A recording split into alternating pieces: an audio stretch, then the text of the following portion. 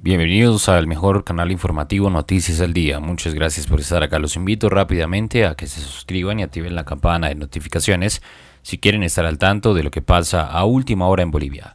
Fiscalía anuncia que reprogramará citación de Rómulo Calvo.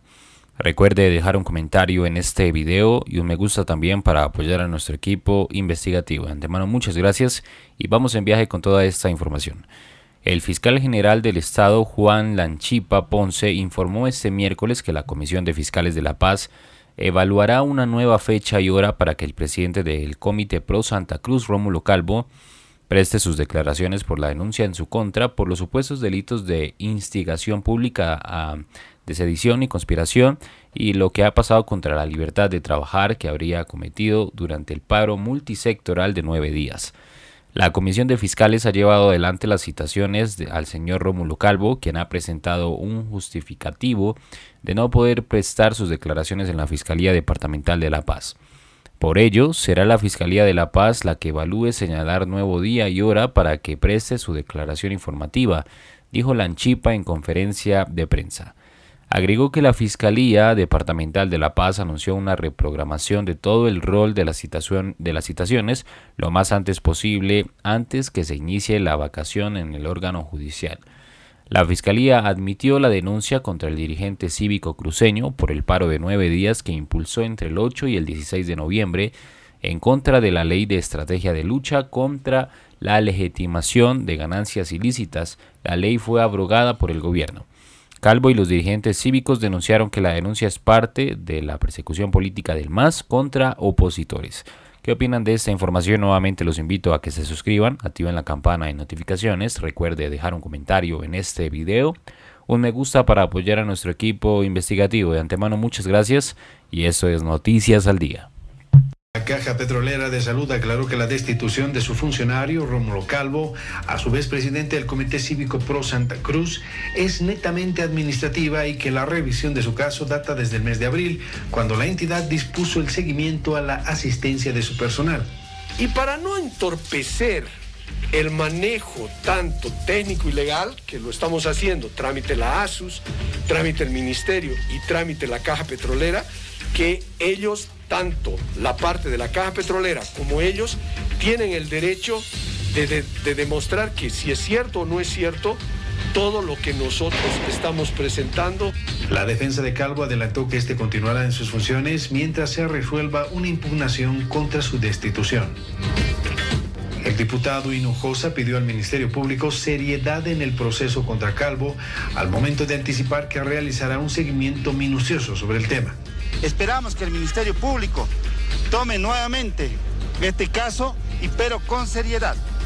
Yo como diputado que he denunciado voy a hacer seguimiento a este caso dentro de mis atribuciones. Se tiene que llegar a su declaración de que no puede ser que algunos eh, del Ministerio Público estén buscando excusas para no pueda declarar.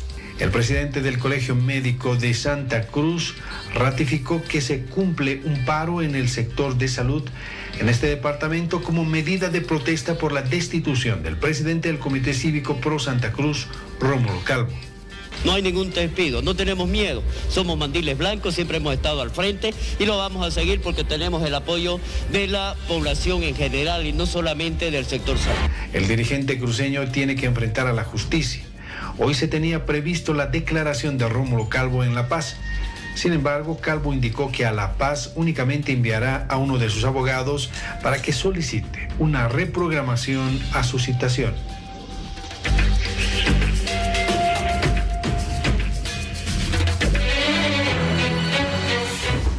Muy bien, 10 de la noche con 55 minutos. Estamos nosotros con Jorge Balda, quien es el abogado de Rómulo Calvo. Doctor, ¿cómo le va? Bienvenido, buenas noches. Leonel, buenas noches y saludos a toda tu teleaudiencia. Gracias por darnos estos eh, minutos. Escuchaba al final de la nota que decía que van a esperar una reprogramación de esta, de esta citación, ¿es así?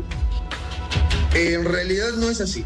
Ah, en un proceso iniciado en la ciudad de La Paz por delitos de sedición, conspiración, por el paro llevado adelante en la ciudad de Santa Cruz, se habría instaurado esta causa a denuncia de un comité impulsor de la justicia de la ciudad del Alto que presentó primero su denuncia en el Alto, se la rechazan, luego la presenta en la ciudad de La Paz lo que nosotros hemos exigido eh, a través de una excepción de incompetencia es que se remitan obrados a la autoridad llamada por ley, que es el juez natural, que territorialmente tiene la competencia para resolver una cuestión de semejante naturaleza, que es la ciudad o el departamento de Santa Cruz, más allá de sostener que no se puede criminalizar el derecho a la protesta, porque lo único que hizo Rómulo Calvo fue canalizar la demanda de todo un pueblo exigiendo la abrogación de una ley inconstitucional.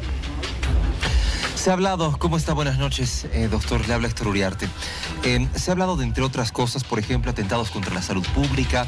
Eh, la Fiscalía ha presentado igual una serie de denuncias al respecto y cuáles han sido los antecedentes por los que se le estaría iniciando todo este proceso y obviamente llamando a declarar. Ahora se posterga la fecha. ¿Qué dice su defendido al respecto de todo lo que está pasando? Héctor, un placer. En realidad no se ha postergado la fecha. Lo que la Fiscalía ha determinado es suspender la investigación en la ciudad de La Paz. Entre tanto, la autoridad jurisdiccional resuelva la excepción de incompetencia planteada, es decir, remitir obrados al juez natural tal como corresponde. Eh, respecto a los procesos y al motivo por los cuales se han iniciado, eh, te corrijo, estimado Héctor, no ha sido la fiscalía que ha iniciado estas causas de oficio, han sido los diputados Rolando Cuellar, Hernán Hinojosa, Elizabeth eh, Morales, quienes han presentado denuncias no solamente y pendientes a criminalizar el ejercicio de un derecho, que es el derecho a la reivindicación, el derecho a la protesta, que está previsto no solamente en la constitución política del Estado, sino también en convenios y tratados internacionales. Y en la nota también veíamos lo que ocurría con su fuente laboral, es el resultado de una persecución política. Bueno, em, ¿qué es lo que sigue ahora? Doctor Balda, ¿qué es lo que sigue ahora con relación a la defensa que va a asumir usted justamente para el doctor Rómulo Calvo? Hay 11 procesos por los cuales lo han notificado, son 6 o 7 los que están ya en curso, ¿no es cierto? Uno de ellos justamente el, el de La Paz. ¿Qué es lo que sigue ahora? Muy buenas noches, querida Miriam. Efectivamente, vamos a someternos, vamos a acatar toda determinación que la ley y la justicia determinen. Pero lo que no vamos a coestar y lo que no vamos a permitir es una persecución política arbitraria de, por ejemplo, permitir que por hechos que se han dado en Santa Cruz, porque el paro no se ha dado en La Paz ni un solo día, eh, pretendan llevar y convertir la sede de gobierno nuevamente en una prisión de toda Bolivia. Es extremo y basándose en decretos supremos que están muy por debajo de la ley, es algo que no vamos a consentir y que lógicamente tampoco vamos a coestar. En todos los demás procesos hemos acreditado, tal como escuchábamos, por ejemplo, en el caso del diputado Hernán Hinojosa, denunció al presidente del Comité Pro Santa Cruz, el doctor Rómulo Calvo, por delitos abrogados por la ley 1390 ley que hace menos de 90 días el mismo diputado firmó, aprobó y la misma ya se encuentra en vigencia y denuncia precisamente por hechos que ya están fuera del marco jurídico. Este tipo de componentes y arbitrariedades que eh, la Fiscalía en determinado momento está permitiendo